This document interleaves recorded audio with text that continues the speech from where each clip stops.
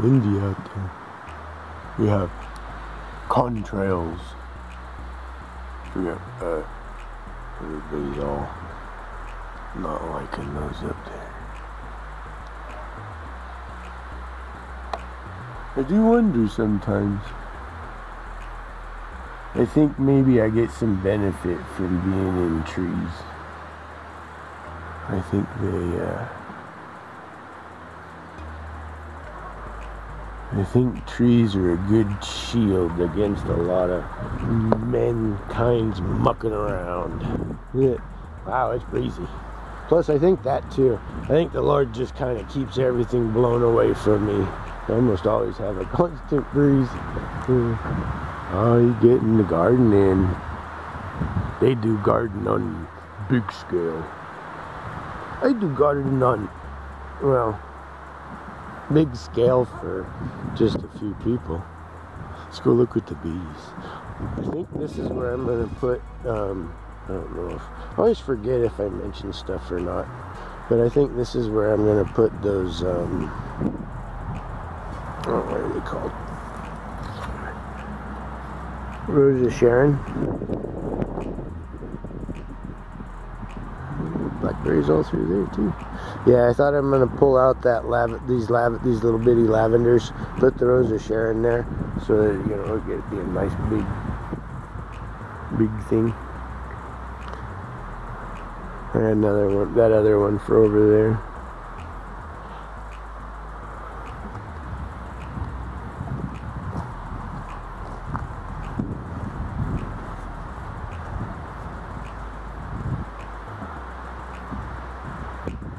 been uh, slowly getting some of the equipment assembled.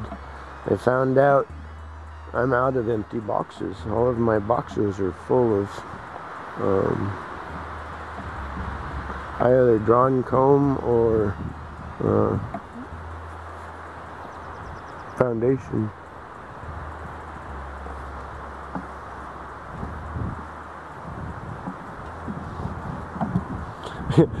My mother just got a stupid scam spam phone call, something or other, whatever, on the house phone and stuff, and she was kind of laughing about it. Well, she didn't right off the bat give me much information, and my thought was, no, my bees didn't swarm. I didn't. They're not my bees. They're not strong enough to be my bees. I said, I know there's swarming bees. She was laughing at me.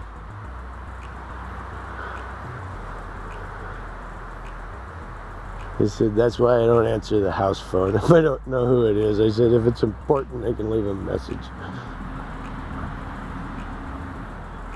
Yeah, that one's getting close to being done. Wonder if anything's coming up. Uh, I don't know. We got honeybees though. Might have to look in people soon. Well, I might look in that one. I'm kind of interested to see. Um, maybe we'll do that for fun. Wasn't planning on getting into them today. It's pretty windy, but that one on the end is consistently very active. And we kind of have very, you know, stair step almost, it seems. We're bringing in a bunch of new uh, orange pollen. Those are pretty good sized bags. Hey, there's some right there. Maybe we can get some without them getting pissed at me. Yeah. I don't know how well that. Let's see. There we go. Yeah. Couple different colors too. That's not the only color. That's cool. I'm glad I have nice bees. I don't mean they don't sting me and get mad at me, but they don't seem to be as temperamental as some people's bees I've seen. a lot of people you wouldn't be able to stand here where I am. Now, that's also why I designed things this way so that, you know, I could stand at the back here because their normal flight path is up above that. So it's not that um, out of the norm and that sort of thing. I kind of figured that into the stair step kind of design of it. You know, every once in a while I get ran into. But they don't seem to be grumpy about it most of the time. And that's good. I like it when my bees are happy.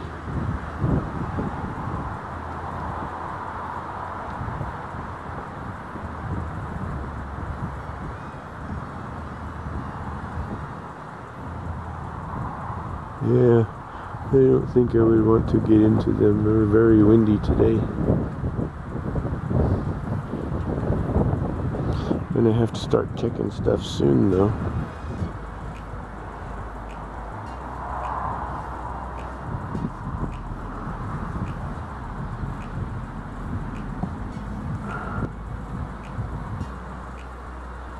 See, they could care less about that duct tape.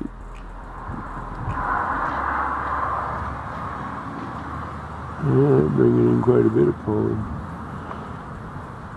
Hmm. They do have pollen traps. I might do that. Hmm. Hmm. I might do that. Not for like any long period of time because I want to keep them growing, but just out of curiosity's sake for a day or so. Oh, she's stuck. I wonder why she's stuck. Oh, oh, that's weird.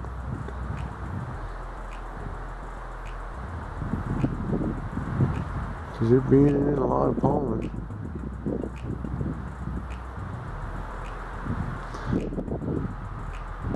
The one on the end, maybe.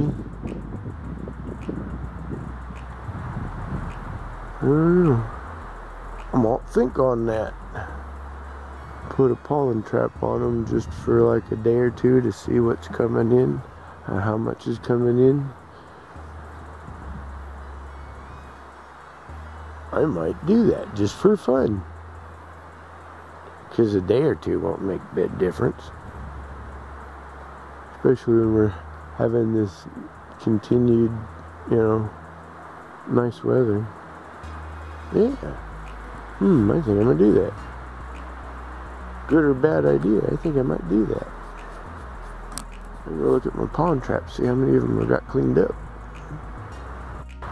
Okay, let's try this again with a fresh battery.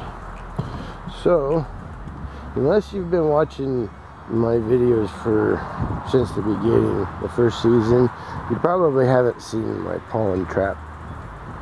Well, it was pollen trap, now it's pollen traps, or it has been pollen traps. Last year, because I had so many um, queen issues through this the season, I uh, didn't do anything with the pollen traps.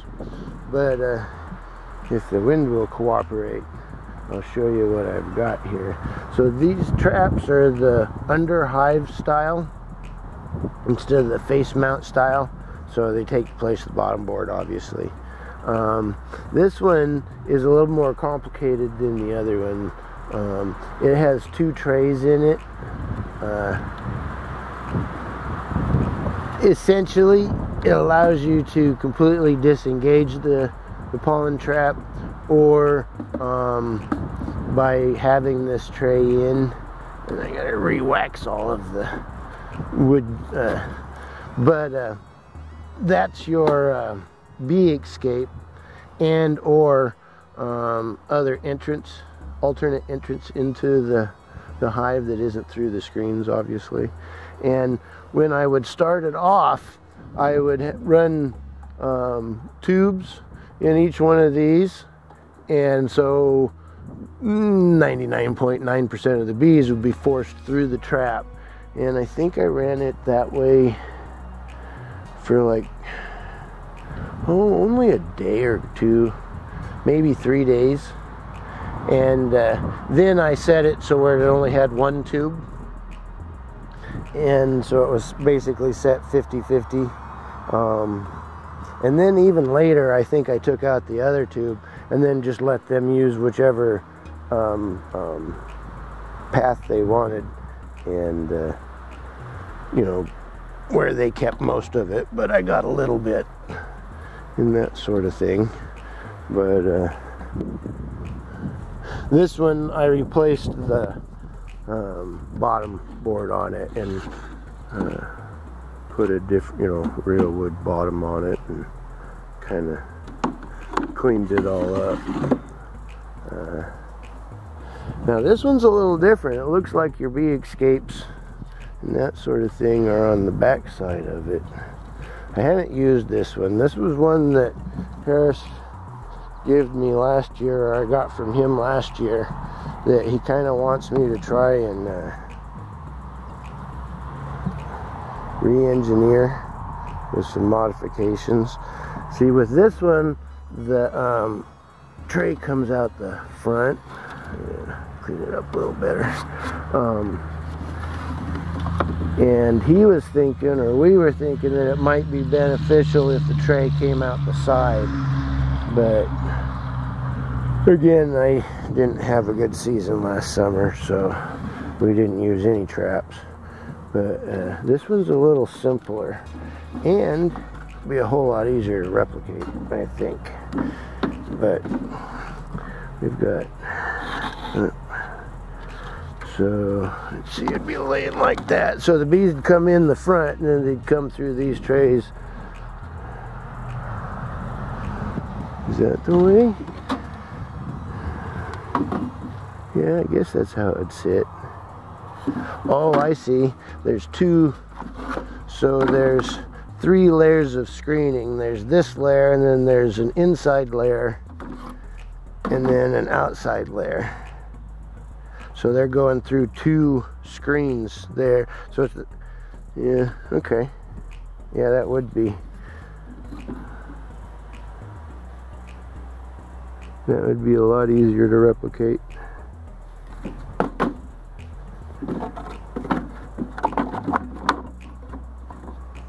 Heavy tray. Yeah. Yeah. But you know what? I think I'm going to put those two I'm to put those underneath my two strong ones. Probably not today. I'll, I will want to do an inspection. But I'm just kind of... I'd like to see how this one works. Um, I know how that one does. It appears that this one is more of an on or off sort of thing. Um,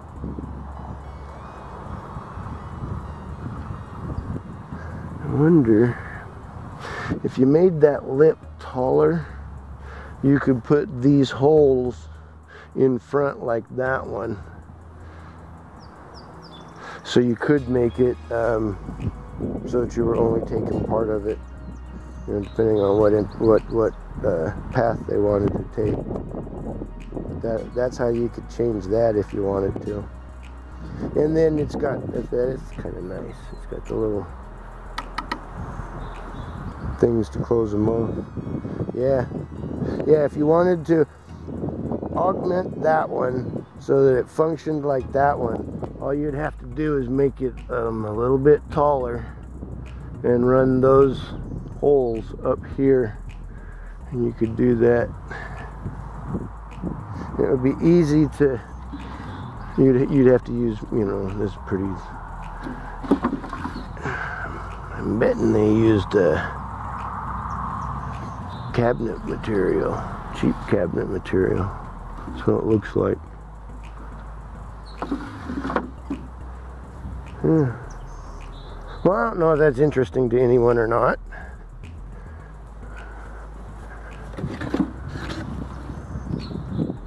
I've got like I think three or four more of that style. They work great for me. See, in my case, I'll just take the bottom board and the slatted rack out and replace it with this and it's even about the same height. It'll work. that one, well, I would do the same thing, but yeah, it'll be kind of interesting to see, uh, see what happens. They've gotten enough growth in them, and I've got enough pollen source coming in from all over the place. Plus, now they're getting planted over there. Uh, it won't be long. It won't be long before I have far too much pollen coming in if I have strong colonies. That's the only reason I didn't have the problem with it last year is um, my colonies weren't strong because I was having all the queen issues. But uh, if I have strong colonies, it seems like I can, I run the risk of uh, over pollinating my bees. But yeah, I thought I would show you guys my pollen traps. Blessed days. Mm, bye.